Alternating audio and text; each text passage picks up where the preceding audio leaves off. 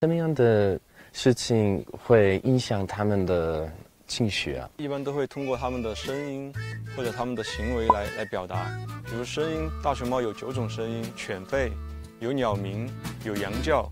犬吠一般就是它在生气的时候，它就会用犬吠来警告你，就是我已经生气了，那么你就要小心一点。然后它鸟鸣，它也是一种呃提示，呃我在这儿。幼崽找母亲的时候，它也会用用鸟鸣。对对对，对对。那当然还有一种最特别，我们了解他们的方式就是我们我们眼眼神对视，因为他们都是我的朋友，都是我养大的。他们的一举一动，他们的一个眼神，我只需要看一眼，就我就知道他们现在心情怎么样。